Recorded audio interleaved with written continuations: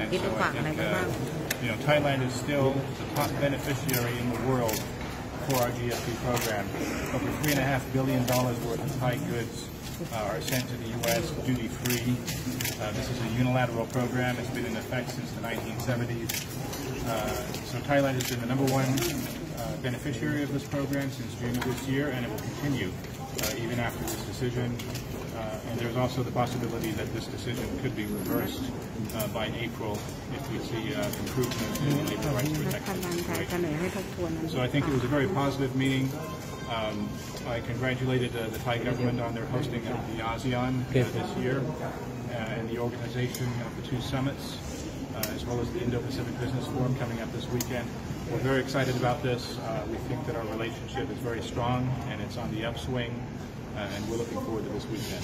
So thank you very much. What is about um, Mr. Somkid that he prefer about the law? They, they want to improve the law in Thailand. Oh, about the labor law?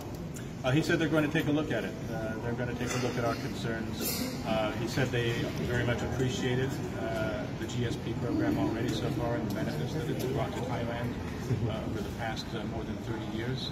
and so he's hoping it, it will continue, and, we're looking forward to that as well. Thank you very much. Thank you. Thank you. Thank you.